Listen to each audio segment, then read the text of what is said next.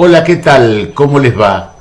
Muchas veces mirando a nuestro alrededor, sin necesidad de ser sociólogos o otra profesión, de desver la realidad, descubrimos cosas que suceden y que nos asustan y que sentimos temor, a veces desesperanza, el ver la violencia que hay en este mundo, la violencia en Medio Oriente, la violencia en el Líbano, en Israel, la violencia en todos esos países, las muertes de inocentes, las bombas, las guerras. El Papa Francisco dice es como una tercera guerra mundial en fracciones, en pedacitos, que se da en distintas partes. Y por eso él en este mes de octubre, que es el mes del Santo Rosario, ha pedido que se rece ese rosario por la paz, pidiendo por la paz mundial.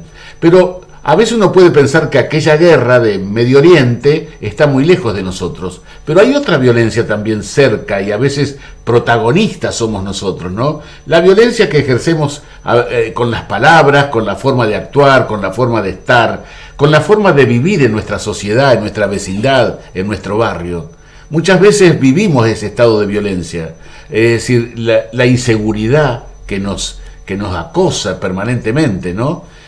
Bueno, por más que uno ponga leyes, que las, leyes estén al servicio, que haya gente, que haya inspectores, que haya policía, si uno no decide no, de vivir en la paz, si uno no decide vivir honradamente, es una, como una batalla casi imposible, porque no puede haber un inspector, alguien cuidando a cada uno de los habitantes.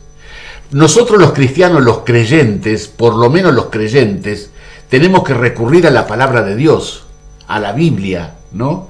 Tenemos que recurrir. ¿Qué nos dice el Señor en su palabra? Miren, hoy quería compartir con ustedes este texto de la primera carta de San Pedro, ¿no? San Pedro escribe cartas. La primera, en el capítulo cuarto, el versículo 8, comienza hablando de cómo debe ser nuestro comportamiento. ¿Qué podemos aportar nosotros desde la fe, desde la creencia, de la vida religiosa? ¿Qué podemos aportar para construir la paz, la serenidad, llenarnos de esperanza, ¿no?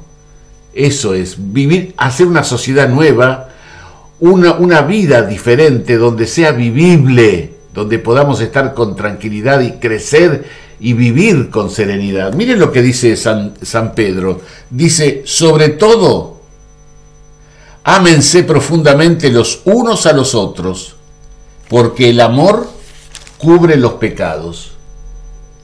Sobre lo primero que hay que hacer, si uno no ama al otro, al prójimo, si uno no respeta al otro, es imposible que construir la paz. Es porque lo de, si yo no lo respeto, si yo no lo amo, entonces lo del otro me importa poco y le puedo hacer lo que a mí se me antoja porque el otro me importa poco. Por eso lo primero que dice la palabra de Dios, lo primero que dice el apóstol San Pedro es, sobre todo, ámense profundamente, porque además tiene esto que el amor cubre los pecados, la multitud de pecados, la caridad cubre los pecados. Y dice y sigue diciendo, practiquen la hospitalidad sin quejarse. Es decir, sean capaces de compartir los unos a los otros, sean capaces de abrir el corazón a los demás. Y así iremos construyendo una vida diferente, una sociedad diferente, porque todos queremos vivir en paz. ¿Quién no quiere vivir en paz? A veces uno oye decir, ya estamos hartos de todo lo que nos pasa, no se puede dejar nada, estamos en peligro permanente, que nos roben, que hagan algo, que en la calle, la violencia, los autos, en fin, cosas que vivimos todos, todos los días. Dice la palabra entonces a través de San Pedro, lo que hay que hacer primero es amarse profundamente. Dice, sobre todo, sobre todo, ámense profundamente. Practiquen la hospitalidad sin quejarse. Pongan al servicio de los demás los dones que han recibido. Esto es clave. Cada uno de nosotros tenemos algo para aportar en la sociedad. Nadie es tan pobre como para que no pueda dar nada. Algo puedo dar. Y Dios me dotó de unos talentos, de unas capacidades para compartir. Esos talentos que yo recibí, dice la palabra, gratuitamente, también tengo que compartirlo gratuitamente. Cada uno tiene algo. Cada uno tiene pequeño, grande, lo que fuere, talento para compartir con los demás. En la medida en que yo comparta, entonces iré construyendo una nueva vida. Pongan al servicio de los demás los dones que han recibido como buenos administradores de la multiforme gracia de Dios. Miren, qué hermoso.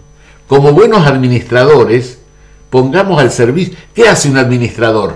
Trata de que su dinero, sus posesiones rindan y entonces busca lo mejor. Bueno, dice la palabra de Dios, de esa manera nosotros tenemos que administrar nuestros talentos, nuestros dones, administrar nuestros talentos para que rindan, para que sea mejor, para transformar el cambio, la sociedad, para transformar nuestra vida. Dice, el que ha recibido el don de la palabra, que enseñe como palabra de Dios.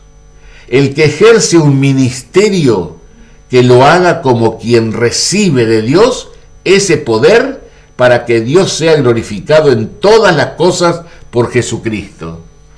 El que él pone esos dones, el que recibió el don de la palabra, que hable, que enseñe, que predique, ¿no? que ponga el, que recibió el don, el don de servir, el ejercicio del ministerio, pues que lo ponga al servicio de los demás. Algo tenemos para compartir, algo tenemos para dar, algo tenemos, algo podemos hacer para transformar esta sociedad.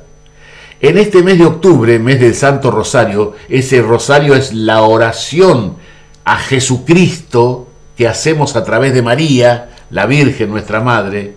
A ella, Nuestra Señora del Rosario, le vamos a pedir para que nos ayude a compartir las cosas que tenemos y construir una sociedad en paz, justa y fraterna. Muchas gracias. Nos encontramos el próximo jueves, si Dios quiere.